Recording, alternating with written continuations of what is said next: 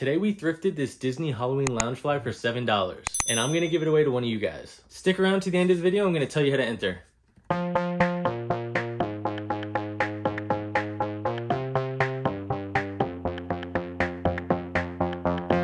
What's going on you guys? Brandon here, and in today's video we're gonna go thrifting again. We found some pretty good stuff last week, and the week before that we've strung together a couple good weeks of sourcing footage. So I want to keep the ball rolling, get some more bolos, some brands for you guys to look out for, some tips. And I just wanted to say thank you guys to everybody who's watching the videos, especially the ones who are commenting. It's nice meeting you guys. I hope to keep making these videos for you. Now let's get going. We only got a couple things going out today. Had a great sales day yesterday. But the first thing is this Disney Millennium Falcon popcorn bucket. This sold for $25 plus shipping. The second thing is this little Wii U Motion Plus controller. And this sold for, I think, $15 plus shipping. When I ship Wii controllers, I usually just put some bubble wrap in a bag. Uh, I've never had an issue with that. This one, however, is going to be a little more challenging. So normally for something about this size, I would be using these free priority mailboxes from the post office. However, it does not fit in here especially with like bubble wrap and everything, it just wouldn't fit. So I'm gonna show you guys what I'm gonna do. All right, so I'm gonna take a second priority mailbox, just like this one, and I'm just going to stick it right down in that one.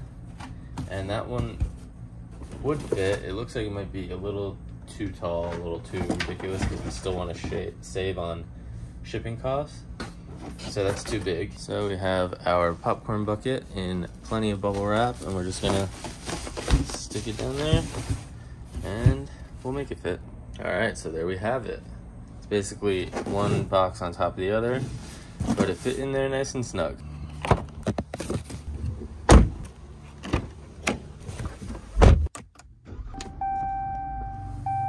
Second store here, and we are looking around the toy aisle and we find this Gravedigger RC car.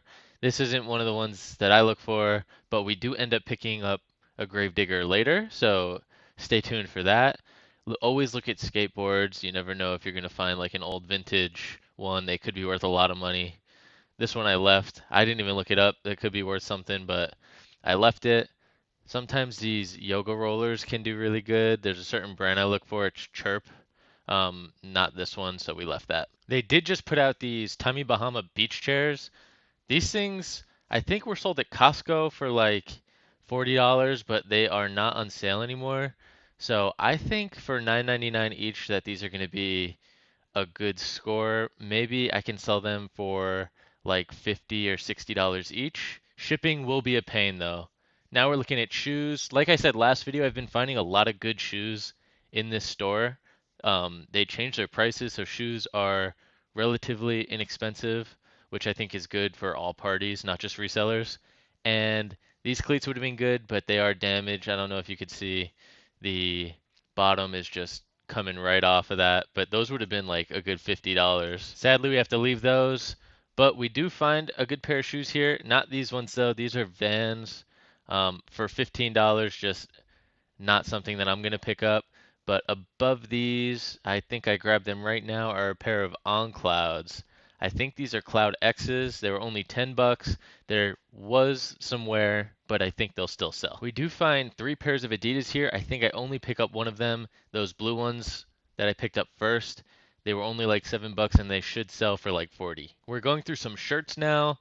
Uh, an old polo here. I usually start filming when I see something like toward the end that might be worth something. And this polo is the beer brand Michelob, and that polo is worth like 40 bucks. We're about done here. I get a little pan shot of all the stuff that I found at the register. All right, so it's raining, so we're gonna make this quick, but we got some manga here, some Yu-Gi-Oh! Um, I didn't really look them up, so fingers crossed on that. And then we got this pillow from Disney, Disney Cruise Line Christmas pillow. So all in all, pretty good stop there. And of course we got these chairs. So those chairs are probably gonna be the best score depending on that manga Uh, have to look those up, but sometimes those could be worth a lot of money. But those chairs were $10 each, and they're probably worth anywhere from 60 to $100. Um, just depends how much shipping's gonna be. When I first started reselling, I actually found a Tommy Bahama chair, beach chair like that, and I didn't know what I was doing. And it was a lesson because I didn't know how shipping worked and I priced them way too low. And after shipping, I ended up making like no money. Um, but it's the lessons you learn, so now I know. Um, that was years ago, so it's been a long time. All right, so checking out those Yu-Gi-Oh manga, um, looks like it did pretty good there. So this first set was $14.99. This is actually the worst, the most expensive set that I bought, but the cheapest set for resale. Um, looks like I can get anywhere from 50 to 75 for these. Then this is Yu-Gi-Oh! Millennium World, and it's only four books, and it looks like there's one listed right now, this set of four, for about $60, but just three, I guess, is selling for like 40 by itself, so I might sell them individually, um, but I'll probably just lot them up and sell them as a lot for 60, maybe just shoot a little higher and hope that the one that's listed sells, and then mine will be next because it's the only lot of four listed. Not a complete set though. Also not a complete set, but this is the best set. It's Yu-Gi-Oh! R. Um, there is one more, it's five. We don't have five. Complete sets are selling for well over $100. So I'm gonna list this set for about 100 and these two were 9.99. So that was a lot better than I even thought it would be. Um, pretty much just blindly pick up manga now. It's usually pretty good, lot it together, usually does pretty well. So we're out in front of the second thrift store right now, and just before we go in, I was curious about that Disney pillow that I found. I didn't look it up in the store, it was five bucks, I figured there's no way it's worth less than five dollars. And there's one on eBay that sold for best offer, but the listed was $64.99. So I don't know what it sold for, but the fact that it was even listed for that is pretty good. So that was a nice little score. Here in the second store, the shoes are right by the door, so I always look at shoes first. Don't usually find them though, because they're usually just too expensive here. Um, but I do find this pair of Asics Onitsuka Tigers, and the bottoms are really clean, and they're only 10 bucks, so I throw those in the cart. And then I look at these little like ThermoBall boots just not worth it. But right next to them are these Hey Dudes that are in pretty good shape as well. The bottoms are like brand new, also only $10. Those should be about 30. We also grabbed a Robert Graham shirt here, as you can see, and this Tatooine Star Wars hat would have been cool, but the patch was coming off the front, and for $6, just not worth it. Looking through more of the hats here, um, let me know if you guys see anything on any of these videos that you would have picked up or that you think I should have even looked at because sometimes I probably go right over it. Um, I do see this Disney hat behind all these, so I go to grab that. It's a Mickey's Not So Scary Halloween Party hat. In the plush aisle, my favorite store for plush aisles, um, they had a bunch of Squishmallows. Most of them new at tags. Fortunately, they were all just too expensive. If they were a couple bucks each, I probably would have grabbed all of them and then just worked it out later, but ended up leaving all of them. All right, we are at the third store now. Got some stuff at the second store. It wasn't too crazy. Um, nice pair of shoes, a couple hats, I think, and a plush. Um, and that tennis racket will be really good. But other than that, it was kind of, it was just a madhouse in there. Didn't record much, um, but we're going to hop in there and hopefully we finish the day strong. Here in the toy aisle at the last store, we see this Gravedigger that's different from the one in the first store that ended up leaving. This was only $4 and I could sell them for parts. It has the battery already sold and the body already sold. I'm to show you guys what I got my cart so far. This Polo Ralph Lauren t-shirt was only a couple bucks and this 21 Pilots tour t-shirt only $3, so I figured why not. At this point, we have a full cart, and I thought I was getting ready to leave, but then I came across all these OOFOS flip-flops, and I grabbed them all. We have a full cart, and the last thing we found is this Loungefly that I'm giving away. Stay tuned. wow, we got a lot of stuff there.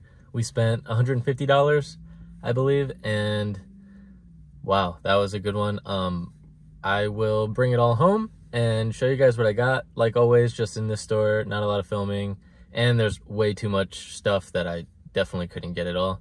So I'll go through most of it when we get back. I don't want it to be too long showing you every single thing, but I'll show you the good stuff. All right, so we're gonna go through what we found at that last store just the stuff that I didn't get footage of in the store because I'll talk about that as I show that. Um, but I did want to just touch on the sandals again. There were four pairs of OOFOS and they were each $3, so just can't beat that. It's a great brand.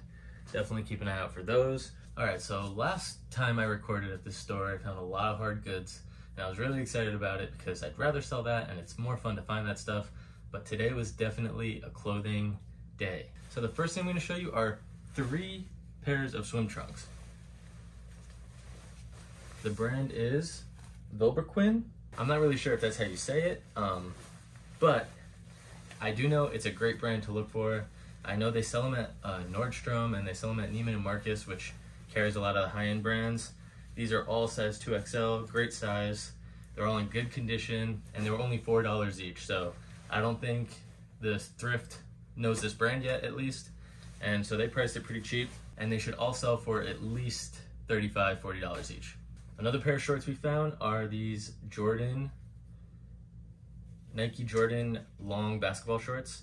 These are size 2XL. I don't always pick up the Jordan brand, but when it's a bigger size like 2XL and they're like the really long, it's like the classic long style of basketball shorts, I will pick them up because big size, long shorts, probably $30 easy, maybe 40. Now this is a brand that I'm sure a lot of you guys know. I don't pick it up that much anymore just because it's kind of saturated now, but these are a big size. These are Athleta Brooklyn joggers, textured Brooklyn jo joggers. And they're size 12. They were $11.11, but I should be able to get 30 to $40 for these plus shipping. And they're just in really good shape, so I decided to take a chance on these. And then I did show this one in the store, but I'm gonna go over it again just because it's a really good brand to look out for probably one of my favorite brands to sell nowadays. I've gone so long without finding it, and then I found it three times this year, so it's pretty cool. It's Rhoback, and what's cool about this polo is it has a barstool embroidery on the front, which is pretty good, I think. A lot of barstool stuff that's not licensed like this does pretty good, so to have a good brand and the barstool logo, I think, is like a double whammy. Here we have Harley Davidson rain pants and they're definitely rain riding pants. They have like the stirrups here. Um, and these are size 3XL and they were only $7. This should be $30 easy. And then we have a t-shirt here. This is, the brand is Roosevelt's. If you watch my videos, you would have seen that I picked up a Kelly Kapowski like Hawaiian shirt recently. Um, and that was this brand. They license a bunch of like pop culture shows and movies and stuff like that. And this t-shirt is from the Sandlot. If you know the quote, heroes are remembered, but legends never die. That's from Sandlot. And this is just a t-shirt. And it was only five bucks, so I figured maybe 20 on it. Definitely not as good as the short sleeve button downs. Definitely keep an eye out for those. That Saved by the Bell one that I just sold, sold for like $85 or something like that.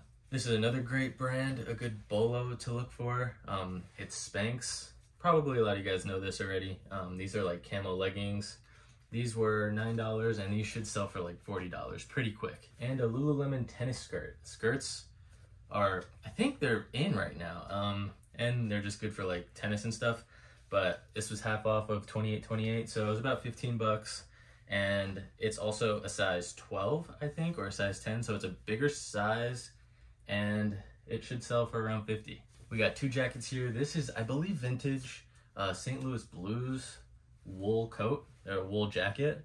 It was only five dollars, which is crazy. Not a lot of great sell through um, on blues jackets on eBay, but this one's wool and it is officially licensed by the NHL. So I'm gonna shoot for like a hundred. If not, I'll take some offers. But for five dollars, you really couldn't go wrong. And another jacket that I'm gonna shoot for about a hundred on is this Mitchell and Ness New York Islanders like track jacket style. Um, Mitchell and Ness is a great brand to look for. Jerseys are often faked, so if you find their jerseys, just be careful. It is a very expensive brand retail, so finding a jacket in the wild is pretty awesome. This was $9 and it should sell hopefully for 100 like I said. And then the last find here I got on my way out because the line is right next to the shoes. Saw these shoes, they're OluKai Sneakers, they were only $7 and these look like they should go for like 40. All right, so like I said earlier, I am going to be giving away this bag to one of you guys. So I've been wanting to do a giveaway for a little bit now. Um, I did give away when I hit 100 subscribers, I wanted to do another giveaway for 500, but I just thought this bag was a good like giveaway item and we're almost at 500, so it kind of counts. Just a disclaimer, there is some wear and tear to this bag. It's not in perfect shape. It is kind of a rare bag though because it's from the year 2021. I think it's the first year Disney made a Halloween Loungefly. So it's a cool bag to find. New or in good shape, these sell for over $100. I think in this shape, I value it at like 30 to 50 bucks. But if you want this bag for yourself or you know somebody that would like this bag, even in the condition that it's in, or if you want to resell it yourself, just make sure you like and subscribe down below and leave a comment just saying hi and why you would like the bag. That's a haul, you guys. I hope you guys enjoyed. We found a lot of good stuff today, a lot of good brands to look for. I hope you learned something. I hope you just enjoyed watching. If you're still here, don't forget to like and subscribe down below. If you like these style videos, let me know. If you think that I could change it up a little bit, maybe the style, let me know. Um, look forward to hearing from you guys. I'll catch you guys on the next one. Peace.